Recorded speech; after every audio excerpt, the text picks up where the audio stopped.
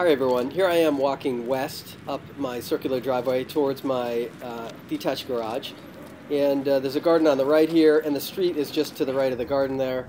Um, so I'm close to the street, and their house is definitely on the street. Uh, it's trees are all around me here, so you know, shade in the summertime for sure. Out behind the garage, there's actually about a quarter acre or so of some open space, but trees surrounding it. So I'm not sure this is a great space, but I just wanted to show it. Okay, now I'm turning back to the east towards the main house, and I'm going to continue walking east. Behind the house here, I've got quite a few, I've got a big open area, but I've got quite a few big old oaks and things like that. So a lot of shade in the summertime, some open spaces, but definitely shaded. Um, and it is close to the street still, so again, I'm not sure this is a great spot, but it does give perspective on where the property is. As I start to walk towards the south, you see more and more um, spaces that might be options. As I continue heading towards the south, I think there are some good options here. Uh, there's a path that leads down to a small meadow right in front of us here. This is heading straight south or pointing south. And on my left, there is a what used to be a horse barn um, that I can keep equipment in. And then right over here is actually a pond. Uh, so I think the combination of these things might actually provide some uh, some good uh, situations. I was actually thinking right over here beside the horse barn might be interesting if there was a spot that I might level out and uh, be able to drop the bees there. I'm curious what people think of that.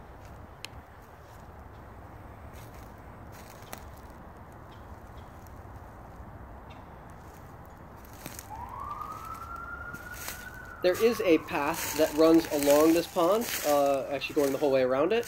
Um, on this side, this uh, to my left here, is actually facing north. Uh, there's a hill. So there's a slope that pretty much comes down to the path and then straight uh, against the pond. I think there's some possibilities here. I think it'd be great if I did have the hives over here, but it is very close to the pond. I'm not sure if that's a good thing, um, but it also is something that I have to level out, and there are some trees around it. So again, I'm not sure it's ideal.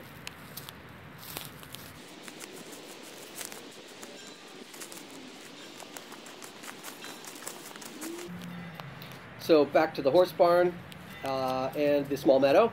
The meadow, as again, as I'm walking this direction, I'm walking towards the south. Uh, so again, if the bees were by the horse barn, they would be facing south.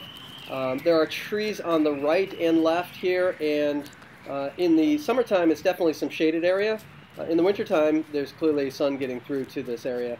On the left here, on the other side of this little knoll, is the pond. Uh, as I keep walking towards the south, I end up on a power line that is my, my property as well. Um, but I think there's some great opportunities here to potentially put the bees. Uh, so if I look to the west, uh, it is a hill over here, and then again I'm facing the south right now, and then back towards the east that way. I think right over here is something that might be the easiest spot. Um, on this uh, left-hand side of the view, uh, if I put the bees right up against the tree line on the left, they could be facing directly to the south there. I think the worry I have here is potential vandals if people are going up and down the power line. I don't see a ton of traffic out here, but it's not unheard of.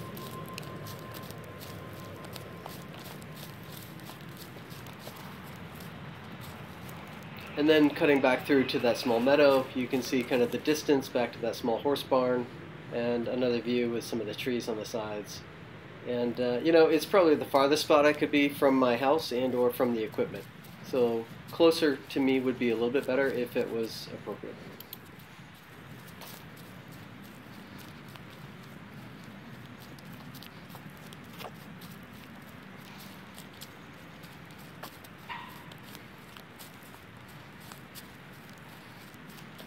And one last thing I thought I'd show you is that right behind the horse barn, it's kind of half embedded into a hillside, um, this goes up that hill, up that ridge that's along the pond.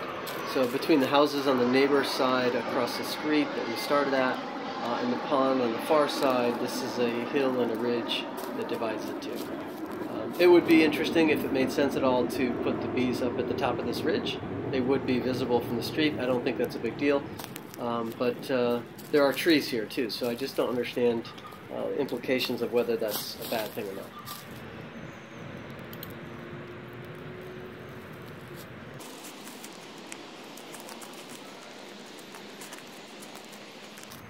And as I turn and head back towards the house, I think we've kind of covered the prime areas that I think might be opportunities for the bees. I'd really love to get people's thoughts on this. I'm trying to figure out exactly where it's going to be. I got about a week to make a decision, so any input is much appreciated. Thanks so much. Bye.